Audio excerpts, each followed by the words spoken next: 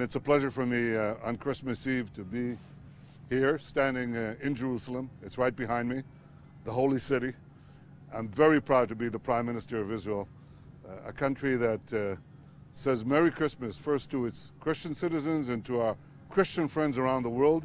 I'm proud that Israel is the country that in which Christians not only survive, but they thrive because we believe in this friendship among people and we protect the rights of everyone to worship in the holy shrines behind me.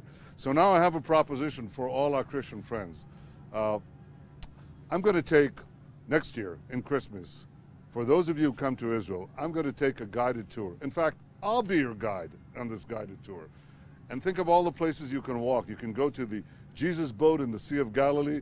You can get to the uh, Church of the Holy Sepulchre right behind me any places uh, that you want to visit in the footsteps of Jesus uh, and the origin of our Judeo-Christian heritage. So please come to Israel next year in Jerusalem and Merry Christmas to all of you.